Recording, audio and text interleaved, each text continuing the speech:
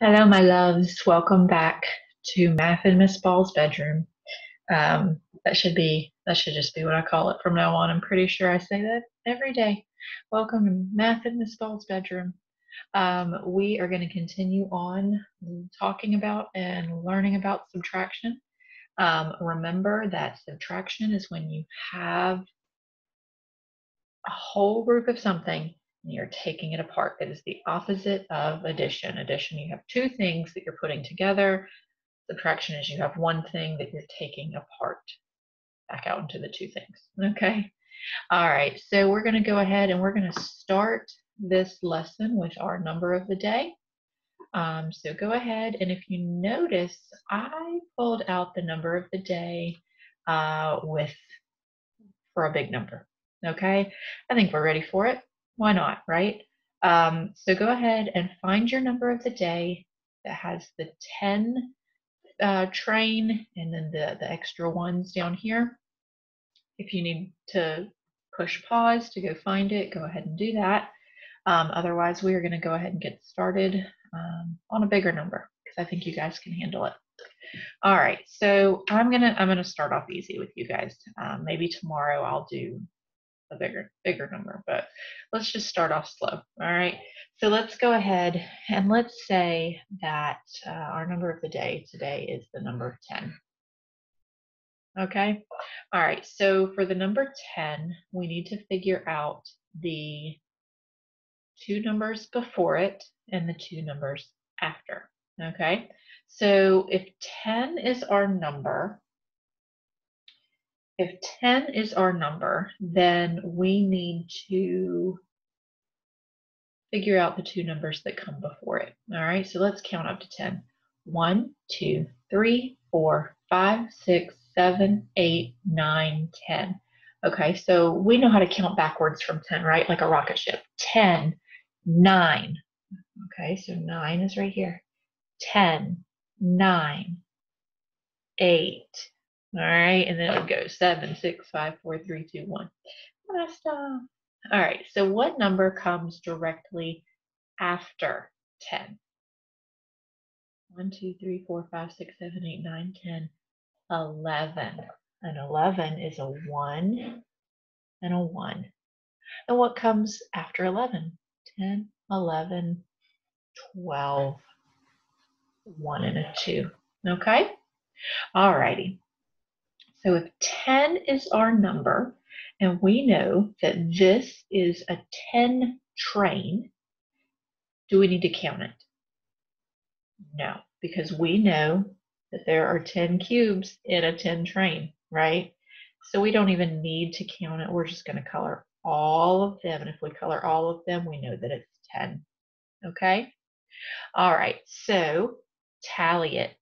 All right, so let's see when we did our number five yesterday, we said that a five was one, two, three, four, and then we crossed it for, for five, right?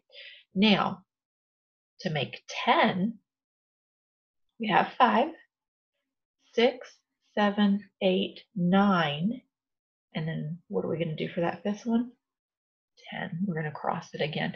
So you have your four lines going down and then one slash. So then you could count it by fives. Five, ten. Okay? All right, so let's go ahead and write the word 10. Let's sound this one out. T, eh, eh, eh, not ah, not i, eh, and 10, 10. Okay? Now, odd or even. Now, this is one of those things that you will learn a lot more in first and second grade, but we can go ahead and introduce it now. When a number ends, the last number, when it ends in 0, 2, 4, 6, or 8, it is called an even number. 0, 2, 4, 6, and 8 is an even number. If it ends in a 1, 3, five, seven, or nine, then it is a odd number. Okay? So using that rule, look at this last number here. 0, 2, 4, 6, and 8 is even. 1, 3, 5, 7, 9 is odd. So what would you say that 10 is with the 0 being the last number? It would be even. Okay? It would be even. Now, just for giggles, if this was our number of the day, you see the 1 at the end. So I'll say it one more time.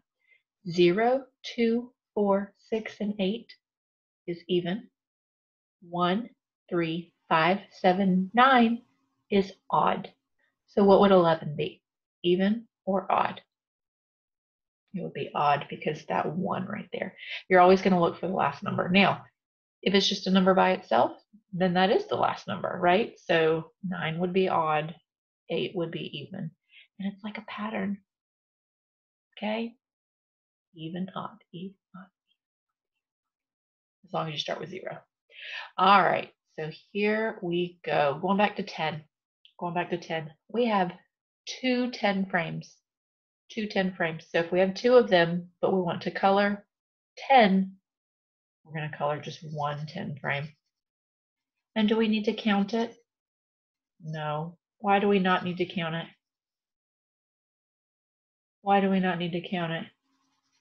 Because you're what? Smart. Because you're smart, you don't need to count it because you know just by looking at it that that is 10. You are smart. All right, draw it. Hmm. Yesterday I drew tacos. There's nothing really happening on May 6th. We had Star Wars Day on Monday. I didn't have a video. We had Taco Tuesday yesterday. I drew tacos. March 6th. Let's make today stick figure day.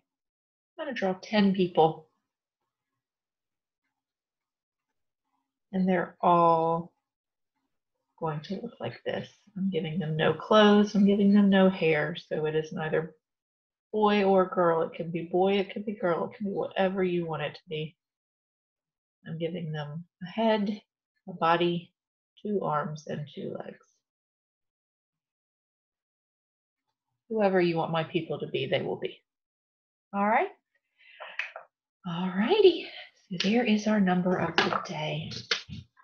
All right, so I'm going to move that out of the way. I'm going to go ahead and pull out our page for the day. We are in chapter 6, lesson 1.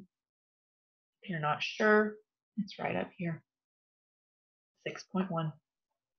Oh, good. We have the kids again. I really love when they use the people and not um, jump right into the numbers. I think it's a little bit easier. All right. Okay, here we go we have some children. What are they doing? Reading books. They're in the reading center. Oh, yeah, look. Readers. Hmm.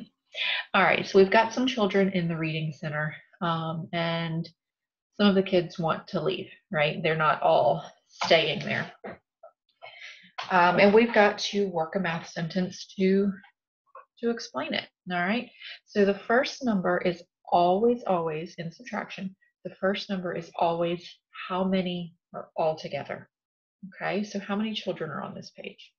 One, two, three. So there are three children on this page. All right. How many children are walking away? How many children are leaving him? So we're going to go ahead and mark an X on him because he is leaving. How many? Just one.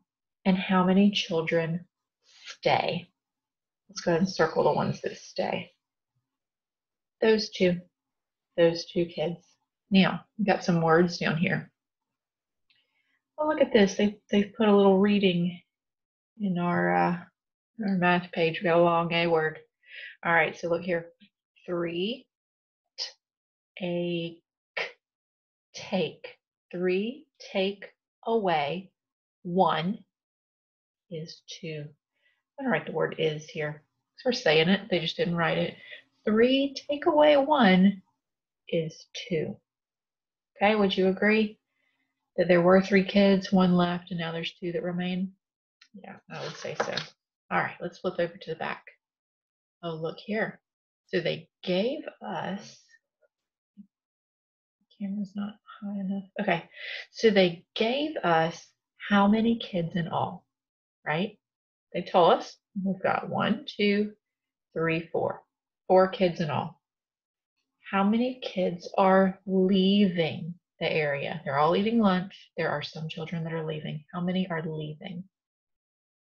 Yes, these two children are leaving. So I'm going to go ahead and mark an X on them. They are leaving. They are headed somewhere else. They are done with their lunch.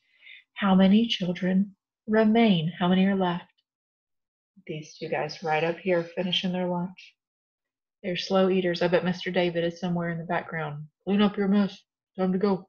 Gotta go. Gotta go. All right. So down here, we've got an empty space. We've got four. Take away two is what? How many are left? Two. Sorry, can't see that whole thing. All right. Make sure your paper looks like mine. Oh man. Ready for this one? Oh boy. They didn't give us a thing. We gotta fill it all out ourselves. Okay, so let's bring it down, check out our picture. Okay, let's think. When we subtract, we start with all together. All right, we're subtracting, so we're starting with all together. All right, so how many all together? How many? How many?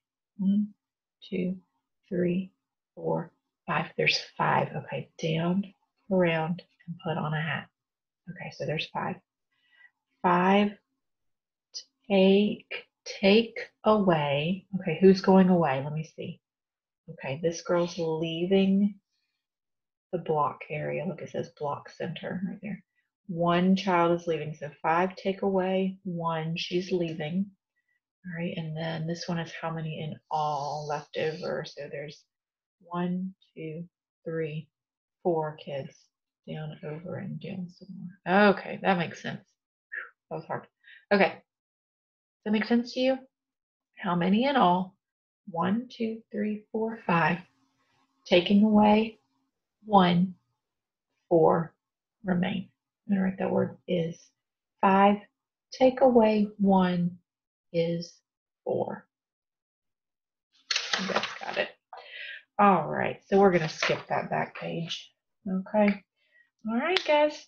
That's all I got for you. I hope you have a wonderful Wednesday. I miss you every day, um, and I hope you're being the best that you can be for your mom and dad, for your brothers and sisters, um, whoever you're hanging out with every day. Uh, I hope you have a great rest of the day. If you've not yet done your math iReady for the week, please do that. Please, please, please log into iReady um, and do that math lesson. Okay? All right. I will see you guys tomorrow. I love you. Bye.